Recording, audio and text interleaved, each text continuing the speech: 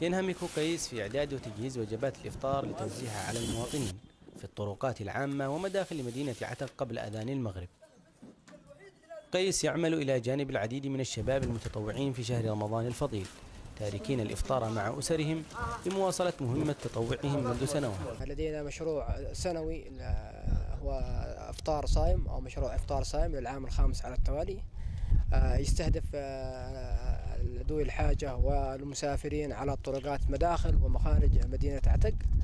هذا المشروع آه، جهد شبابي. عمل التطوع هو عمل خير. عندما تعطي الناس تجد السعاده لا تجدها عندما تأخذ شيئا مقابله. تتعدد المشاريع الخيرية بين إفطارات الصائم وتوزيع المعونات الغذائية للأسر المحتاجة وذوي الدخل المحدود. في زمن تشهد فيه البلاد أزمة معيشية بسبب الحرب المستمرة منذ انقلاب ميليشيات الحوثي. المبادرات الشبابية تخدم من خلال توفير جميع ما يحتاجونه من المستلزمات آه، سواء غذائية سواء صحية أو غيرها من المستلزمات التي يحتاجونها أفراد هؤلاء المجتمع الذين يحتاجون هذه الأشياء التي تلبي مطالبهم وتلبي احتياجاتهم وتلبي آه، معيشتهم الحياتية.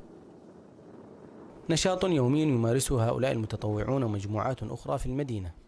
ضمن المبادرات الشبابية المجتمعية مجسدين صورة من صور التكافل الاجتماعي الذي يزيد من أواصر التعاون والتكاتف بين أفراد المجتمع. أبو بكر حسين لقناة بلقيس. شبوة.